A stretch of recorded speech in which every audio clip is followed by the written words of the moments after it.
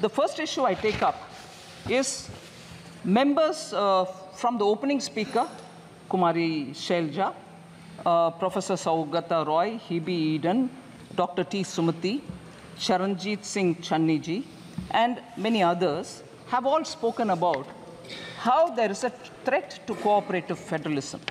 Only few states have been given the benefits in the budget. Sir, I'm very sure, I would like to humbly state this. I'm sure all the members know that in a budget speech, if a state is not named, it doesn't mean that no money goes to them. And therefore, that was a misleading campaign, which, being in the opposition, unfortunately, a lot of members did speak about.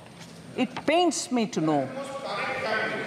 It pains me to know that that they could say that if you're not mentioned in the budget speech, your state gets nothing at all. I'm picking up on the budget speeches since 2004 5, 5 6, 6 7, 2007 8, and so on, sir. 2004 5 budget did not take the name of 17 states. I like to ask the UPA government members at that time did money not go to those 17 states? Did they stop it? Then, if they stopped it, they have every business to ask this question. I presume they didn't stop money going to those 17 states because they didn't name it. So, when it is one thing for them, it's all right. When the same thing happens somewhere else, no, it's not all right, you've deceived. 17 states were not named in 2004 5. 18 states were not named in 2005 6. 13 states were not named in 2006 7. 16 states were not named in 2007 8. Money didn't go to them. 2008 9. 13 states were not named.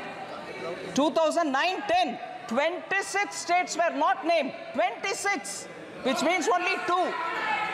Sir, oh yes, sir, if we are being blamed that only two states were named and the other states are not getting anything, 2009-10 budget had only two states, Bihar and Uttar Pradesh, and no other state. What does that mean then? It's all right when you do it. You didn't give money to those states which you didn't name. So, sir, you can't have it both the ways. You do one thing and then you blame the same thing on somebody else. What happens to the states which were not named? I'm asking now, 2009-10, 26 states of India did not have a mention. 2009-10, the full budget, 20 states. Interim budget did not have 26. The full regular budget, 20 states did not have it. So what does that mean, sir? They continue, they continue to ignore states.